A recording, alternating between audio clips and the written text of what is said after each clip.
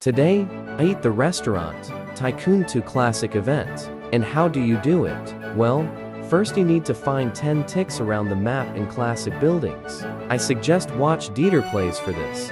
When you find all Tix, you need to serve classic customers. I believe first badge is for 10, then 22, 45, 80, and 150. So that's how you get all the badges. Let's go find the portal and look at that sweet success.